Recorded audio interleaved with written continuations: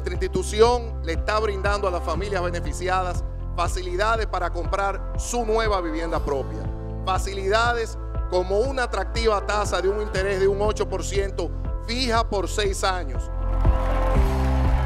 A todas estas ventajas se le agrega un subsidio adicional que otorga el Estado Dominicano de hasta un 60% del costo de la vivienda, haciendo posible que el pago no exceda los 11 mil pesos mensuales.